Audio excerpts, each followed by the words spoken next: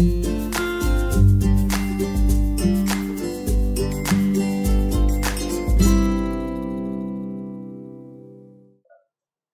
Kính chào quý vị và các bạn. Từ đêm nay, do chịu ảnh hưởng vùng hồi tụ gió trên cao hoạt động yếu, nên tại khu vực vùng núi và trung du Bắc Bộ sẽ có mưa rào và rông rải rác, cục bộ có nơi mưa to. Trong mưa rông có khả năng xảy ra lốc xét và gió giật mạnh.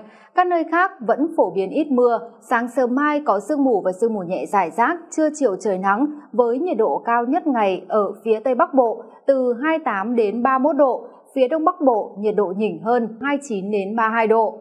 Tại Trung Bộ, thời tiết từ Thanh Hóa đến Hà Tĩnh phổ biến có mưa vài nơi, sáng sớm có sương mù và sương mù nhẹ rải rác.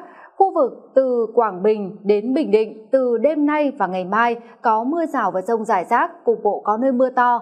Thời tiết các tỉnh phía Nam Trung Bộ vẫn duy trì trạng thái có mưa rào và rông vài nơi, riêng chiều tối và tối có mưa rào và rông rải rác, nhiệt độ cao nhất trên toàn khu vực phổ biến trong khoảng từ 29 đến 33 độ. Tại Tây Nguyên và Nam Bộ, thời tiết ngày mai ít có sự biến đổi so với trước đó, vẫn xuất hiện mưa rào và rông rải rác, cục bộ có nơi mưa to, tập trung vào chiều tối và tối. Trong mưa rông có khả năng xảy ra lốc xét và gió giật mạnh, ban ngày mưa giảm gián đoạn, xen kẽ trời nắng với nhiệt độ ban trưa ở khu vực Tây Nguyên từ 28 đến 31 độ, Nam Bộ 30 đến 33 độ, có nơi cao hơn. Trên biển, gió trên hầu khắp các vùng biển của nước ta, trong đó có quần đảo Hoàng Sa và Trường Sa, hoạt động với cường độ yếu đến trung bình, có mưa rào rải rác và có nơi có rông. Tầm nhìn xa giảm xuống chỉ còn từ 4 đến 10 km trong mưa.